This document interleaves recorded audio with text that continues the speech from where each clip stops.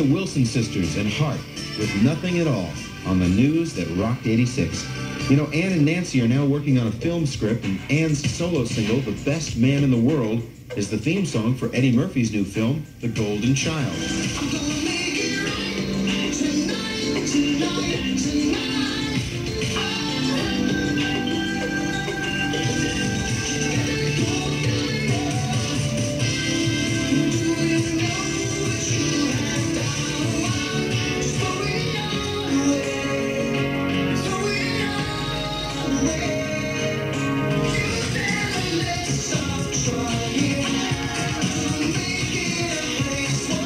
To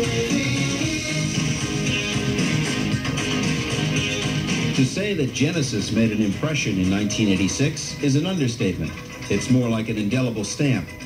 Mike Rutherford starred in his own successful solo project, Mike and the Mechanics. Tony Banks worked on film soundtracks. Phil Collins wrapped up a successful solo tour of the world and then went on to perform in one capacity or another on albums ranging from Eric Clapton to Lionel Richie. But together as Genesis, they released a number one album in 1986, Invisible Touch.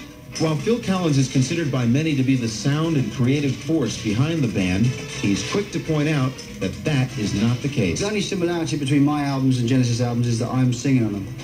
The group albums are very much the three of us individually, and if there's any, I mean, the, the only similarities is the fact that I'm playing the drums and, and singing. I, I think it's, um, you know, it should be put straight that uh, you know the, the group's a group, and it's uh, it's a group, and it's a very democratic unit.